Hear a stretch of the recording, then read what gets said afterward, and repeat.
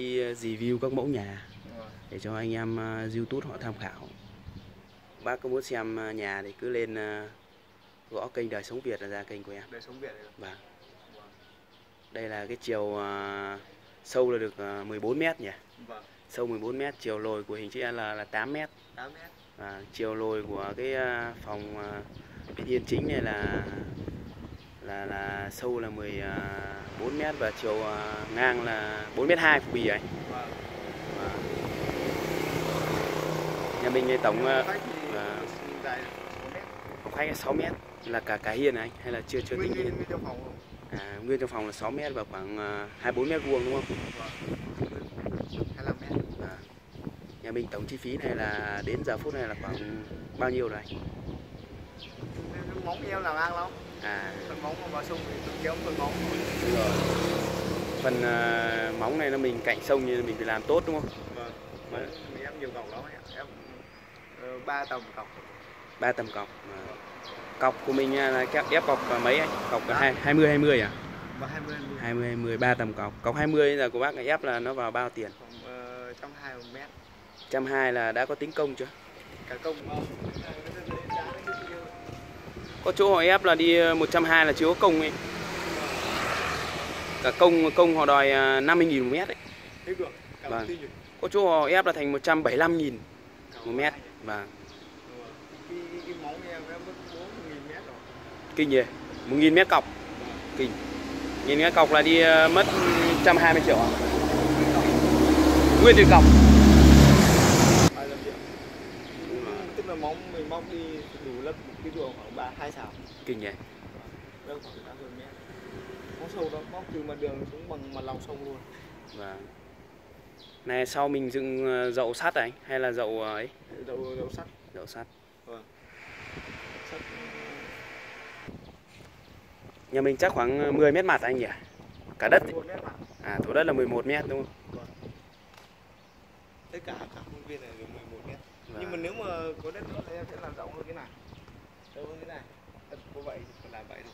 Mua nhà hàng xóm và họ bán cho ít nữa. Đây bên này cũng đủ rồi. À, Cái này cũng đủ một sắt rồi. à, Cái này của nhà nhưng mà cho. à. à. Rồi mấy nữa nữa mình- màu trắng sứ à gọi là trắng sứ đúng không? Vâng. À, hãng này là hãng gì anh? Ờ, hãng ờ, em chả nhớ West Em vào tham quan trong nhà.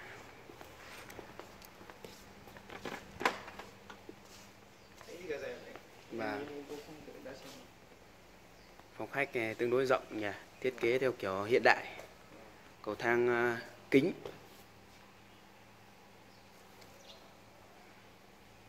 Trần ờ, thạch cao. Vâng. ốp hết lượt luôn vâng này thợ ốp cũng đẹp đấy nha cái gạch này nhà mình ốp thì nó vào bao tiền mét này Cả công vào gần 200 nghìn. 200 nghìn mét cả công cầu thang kiểu hiện đại này dễ lau chùi à, trẻ con tiếc là yên tâm đúng không Yên tâm ấy. vâng Cầu thang gỗ đôi khi béo nó vẫn luồn vào được. đúng rồi này bộ bàn ghế vào đây nữa là chấm hết luôn này. Vâng. bàn ghế kệ này làm đâu. mà Đi làm là từ bếp. Đèn led này đẹp quá anh bật cho em cái điện ở trong phòng ờ, bếp ấy. cái ờ, phần lồi kia là mình làm phòng ngủ nhỉ Vâng. đây là hiên phụ ở bên hông này có hiên phụ bên hông này để đi lại tổng một sàn này là được bao nhiêu mét vuông anh này là 100 mét vuông. trăm mét vuông một sàn Ừ. đây phòng ngủ rộng nhỉ phòng ngủ này được à, khoảng bao nhiêu mét anh? Hai và 23 phòng ngủ này tương đối rộng.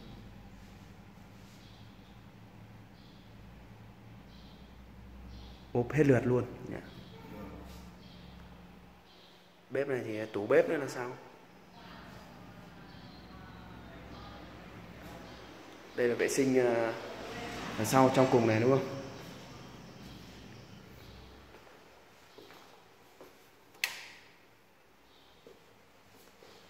Sinh rộng nhỉ Vâng. quê thì mình làm thoải mái Và- phố đây là có cái sân ờ, sân phơi bên ngoài. Này chiều đến mà mở cửa là hút gió lắm đấy anh nhỉ. Vâng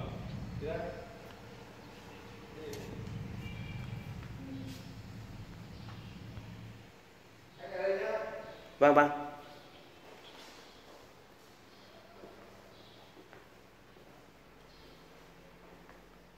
À, trên ờ, tầng 2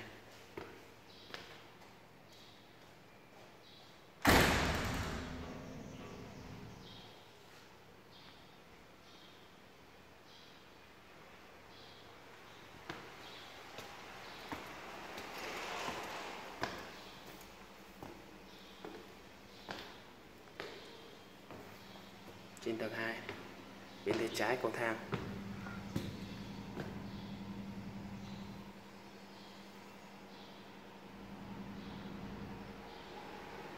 Diện cầu thang thì vẫn là một phòng ngủ giống như ờ, phòng ngủ ở tầng 1 này. Đó, tương đối là rộng. Rất là thoáng. Để phải cầu thang thì gia chủ chia ra làm ờ, hai phòng nữa. Một phòng ngủ khoảng 10 mét vuông bên tay phải cầu thang.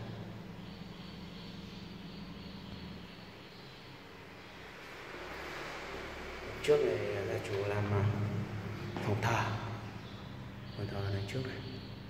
Ờ, đây phần hiên đây. Đây là phần hiên hiên kính hết luôn. Trên này là có hai phòng ngủ, một phòng thờ và một phòng vệ sinh. Rất là thoáng. Đây, phòng ngủ đây. Phòng ngủ này ngay bên tay trái cầu thang luôn. Tay phải cầu thang, chiều đi lên.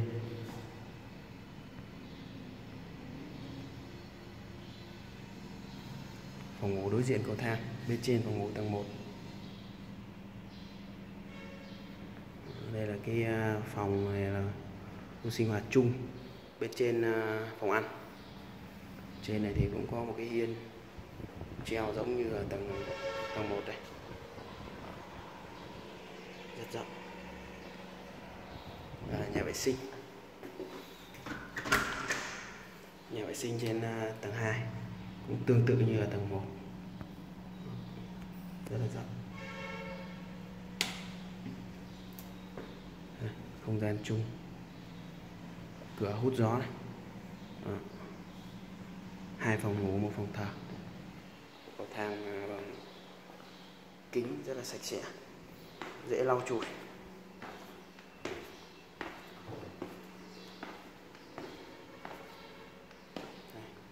Không gian của phòng à, khách rất rộng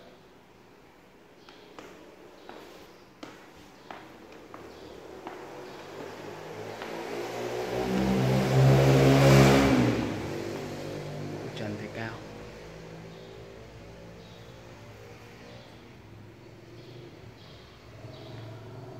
hiên này